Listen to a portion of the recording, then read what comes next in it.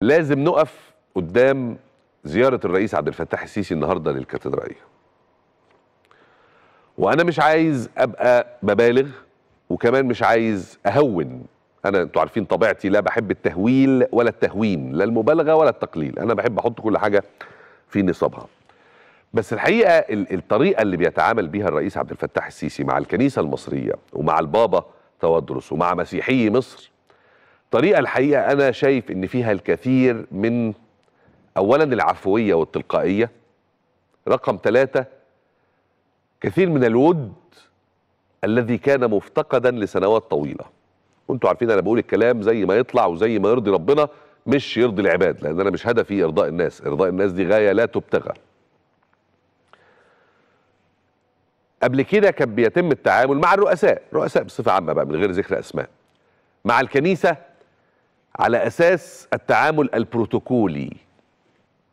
وأرجوكم تحاولوا تفهموا كلامي كويس بدون تأويل وبدون تفسيرات ملهاش لازمة. أنا اللي هعنيه هو اللي هقوله. قبل كده في العصور الماضية كان التعامل مع الكنيسة المصرية من قبل. طيب بعدين. من قبل. ده حد عايز يجامل يعني.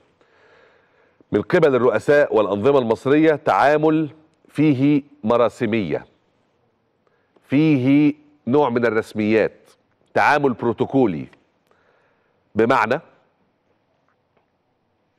إنه في الأعياد يتبعت كبير الياورام يتبعت كبير أمناء رئاسة الجمهورية يتبعت مندوب عن السيد رئيس الجمهورية يتبعت مش عارف كذا ويتبعت برقية إنه رئيس الجمهورية أو مؤسسه الرئاسة تهنئ الإخوة الأقباط بعيدهم ومش عارف إيه وتتمنى لهم كلمتين اللي هم شكل رسمي بروتوكولي جدا وده طول الوقت كان عامل مش هقول حالة فجوة ولا حالة عزلة ولا حالة كذا بس كان حالة عامل حالة جفاء شوية حالة جفاء شوية ما بين الدولة ممثلة في أكبر مؤسسة فيها هي مؤسسة الرئاسة وما بين الكنيسة المصرية وهي أكبر قامة روحية تتعلق بمسيحي مصر. أما سياسة الرئيس عبد الفتاح السيسي من ساعة ما جه رئيس جمهورية الحقيقة لازم نعترف إنها مختلفة. بيتعامل مع الكنيسة باعتبارها صديق مش شخص غريب بنتعامل مع بعض بال- بالرسميات. عارفين حضراتكم لما الشخص الغريب ده لما بيحصل له لا قدر الله حالة وفاة حضرتك بتقوم رافع السماعة تليفون أو ماسك التليفون بتاعك وبعت له برقية عزاء نشاطركم الأحزان وكذا وكذا وكذا تامر أمين. خلاص صح. لكن لما يكون ال- ال- ال- المصاب ده عند حد قريبك صاحبك قوي جزء من عيلتك بتعمل إيه؟ بتعمل اللي بيعمله الرئيس اليومين دول.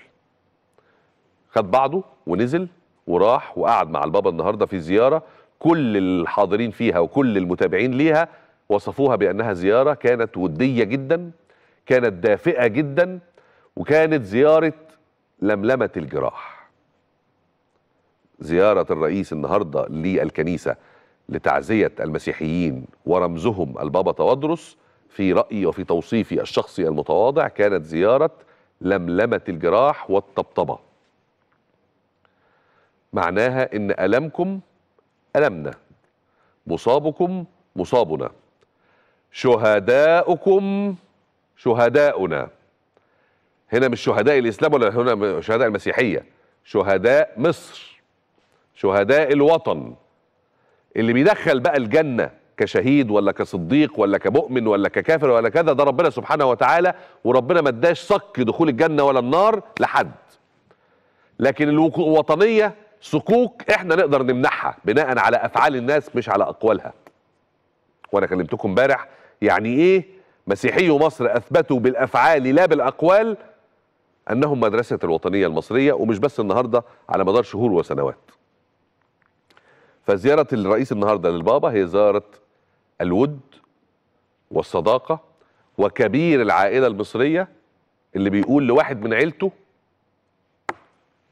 أنا زعلان والألم مسني زي ما مسكوا ودول ولادي زي ما هم ولادكم والرئيس ما عملهاش بس في الحزن ده عملها كمان في الفرح.